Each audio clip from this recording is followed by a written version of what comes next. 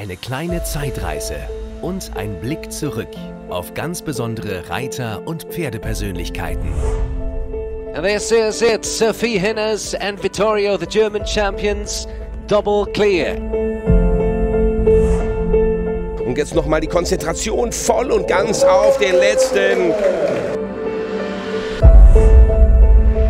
Sie holt sich die alles entscheidende Goldmedaille. Erfolgsgeschichte von Vittorio und Sophie Hinners.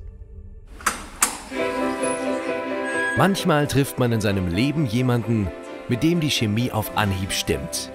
Manchmal entstehen daraus vom ersten Moment an besondere Verbindungen. Das ist so von Mensch zu Mensch. Aber manchmal ist das auch so von Mensch zu Pferd. Also sein Spitzname ist Vitti.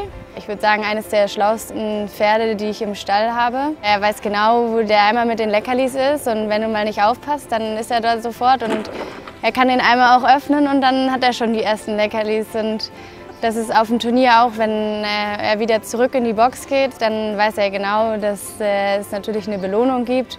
Und da wartet er auch drauf und er sagt dir quasi auch Bescheid, wenn du es mal vergessen solltest.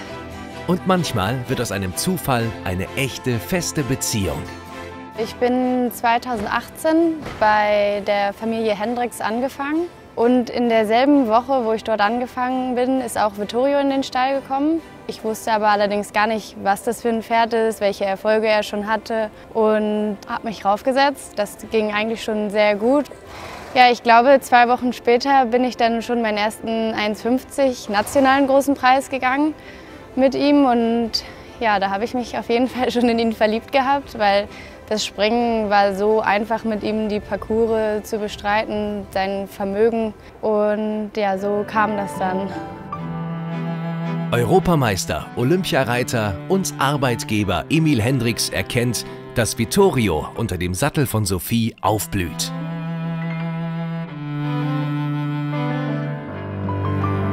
Bin sehr stolz auf die beiden. Erstmal war ich nicht so froh gewesen, dass äh, Sophie zu mir gekommen ist. Und dann hat sie von Anfang Vittorio unter äh, ihre Kontrolle genommen und das war ein Erfolg.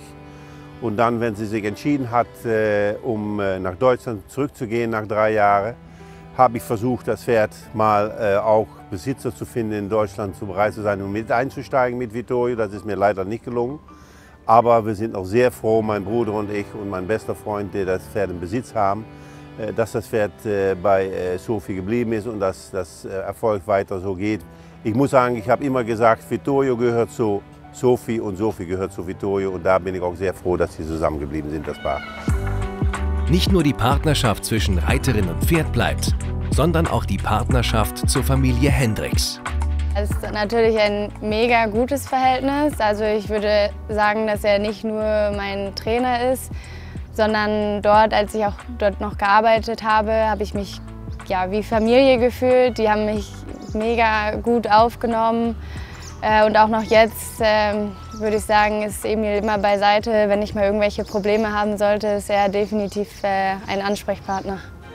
2019 erreichen sie schon Silber bei den deutschen Meisterschaften.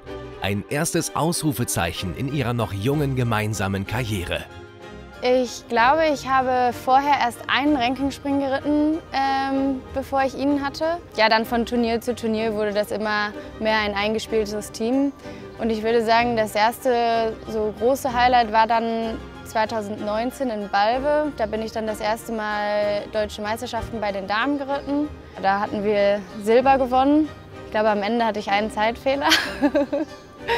Aber ich würde sagen, das war so das erste große Highlight, an das ich mich sehr gerne zurückerinnere. Ja, Vittorio ist kein grundschnelles Pferd, daher schauen wir immer, wie die erlaubte Zeit ist. Oder mittlerweile denke ich immer schon, ich brauche es gar nicht wissen, ich muss sowieso so schnell reiten, wie ich kann äh, und wie es quasi nötig ist. Aber damals saßen wir und haben uns die ersten Reiter angeschaut und dachten noch so, ja, die Zeit ist eigentlich kein Problem. Aber irgendwie hat keiner von uns mitbekommen, dass sie die Zeit heruntergesetzt haben. Und daher kam dann am Ende der Zeitfehler. Sie kann unwahrscheinlich gut mit Spannung um. Also der Basis vom, vom Reiten ist total da. Sie hat sehr viel Gefühl und Pferde springen äh, ganz gerne für sie, machen was, weil sie glaubt, sie ist nicht grob, aber Pferde lieben ihr und sie liebt ihre Pferde. Und ich bin davon überzeugt, dass man, wenn das, das die Art macht, äh, dann äh, tun Pferde was Extras für sie. Und das ist etwas, was ich auch immer zurücksehe äh, bei äh, Vittorio und Sophie. Er hat auch einen sehr starken Charakter. Also es war jetzt nicht von Sekunde 1, dass es auf dem Turnier dann super geklappt hat. Also wir haben schon ein paar Turniere gebraucht. Aber ich denke, mittlerweile weiß ich ganz gut, wie seine Knöpfe funktionieren. Und ja, jetzt ist er auf jeden Fall äh, mein Herzenswert.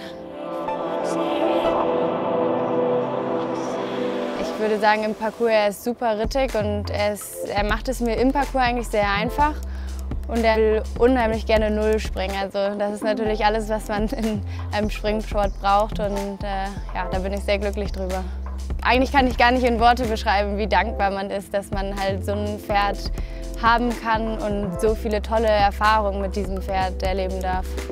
Auch wenn sie 2021 die Niederlande wieder verlassen hat, hinterlässt sie große Fußabdrücke. Und sie hat nicht nur mit Vittorio eine Verbindung fürs Leben gefunden. Ich habe immer gesagt, äh, Sophie gehört zu der Familie. Ich habe einen Brief von sie bekommen, äh, wenn sie äh, sich verabschiedet hat. Und wenn man, den lese ich ab und zu noch mal zurück und das sagt eigentlich alles über Sophie. Sie hat sehr viel Respekt, sie hat einen unwahrscheinlich guten Arbeitseinsatz. Sie ist, als Person ist sie sehr komplett. Und wir freuen uns als Stall Hendricks, dass wir trotzdem in die Zukunft und wir hoffen auf eine ganz lange Zeit Zusammenarbeit machen können. Die deutschen Meisterschaften 2021. Zwei Jahre später. Wieder Balve, wieder in Topform. Sophie und Vittorio haben alles in der eigenen Hand. Eine letzte Nullrunde würde ihnen den Titel bringen. Alles entscheidende Stelle, die alles entscheidende Stelle mit viel Sicherheit hier. Und jetzt nochmal die Konzentration voll und ganz auf den letzten. Sie bleibt null.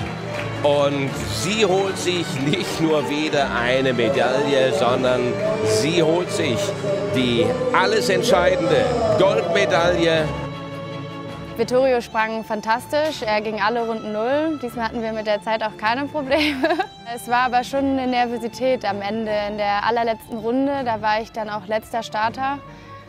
Und ja, Finja, meine beste Freundin, war direkt vor mir und wir waren beide auf Null. Ähm, das heißt, bei uns war es halt sehr spannend. Als ich dann natürlich durch die Ziellinie geritten bin, da ist auch so eine richtige Last von einem gefallen. Äh, es hat geklappt. Ich glaube, das war die beste Runde, die er an dem Wochenende gesprungen ist. Das war natürlich fantastisch.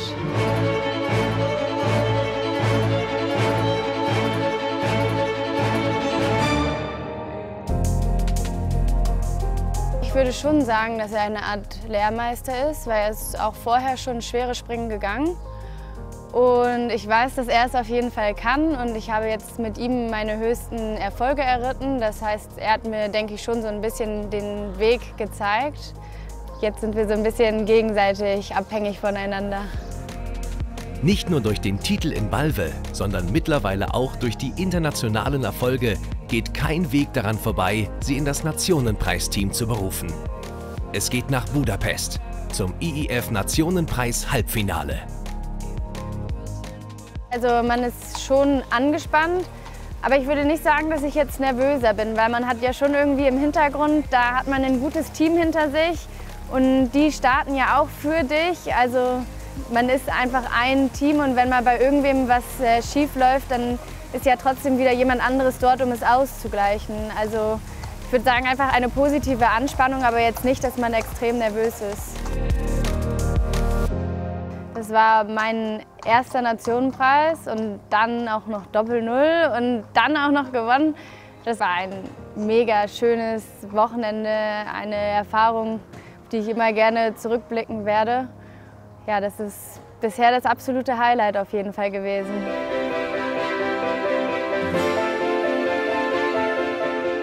Denke, dass ich immer zu lieb bin. Und er ist schon so ein bisschen von wegen, gibt man ihm den kleinen Finger, nimmt er die ganze Hand. Also er nimmt sich definitiv schon das, was er haben möchte. Und ich würde sagen, ich bin einfach eher die liebere Person.